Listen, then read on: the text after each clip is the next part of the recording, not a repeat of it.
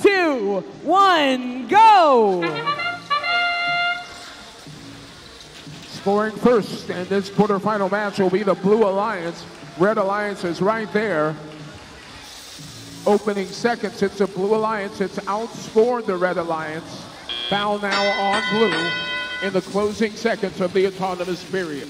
28-26, Red Alliance out in front thanks to the penalty. Red Alliance on the move now. Four pieces of cargo delivered for Red. Blue does the same.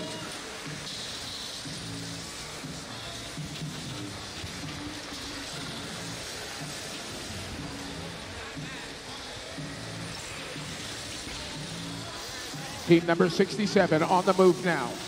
Using their twin intakes to gather up cargo on either side. Now delivering it directly to the upper hub. Blue Alliance robot number 35, 38, delivering cargo as well for red, for blue rather. They are the Robo Jackets. Near side of the field. 25, 39 delivers red cargo for the Red Alliance. Krypton Cougars showing what they're made of.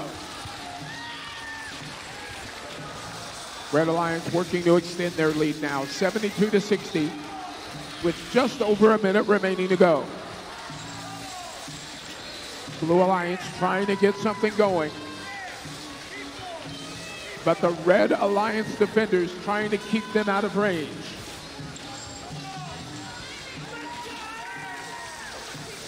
Both alliances exchange shots, able to connect. Now a foul.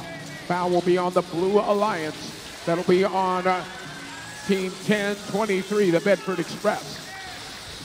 Foul points will automatically be awarded to the Red Alliance, increasing their lead. 102 to 84 with 30 seconds remaining. Inside the Red Alliance hangar, it's 25-39, beginning their climb. For the Blue Alliance, 27-67 Stryke Force attempting to climb as well. Red needs a win to stay in it. 106 to 104, anybody's match. Coming right down to the end as time expires. Red Alliance finishes with one traversal climb and one high rung climb. Blue Alliance has a traversal climb and a mid-rung climb. There were multiple penalties during that last match, and that may have an effect on the outcome. Scores are in. Your winner is Red Alliance. Red Alliance needed a win, and they got it coming back strong. 131 to 129, eking out that win with their hangar performance. So we're tied up.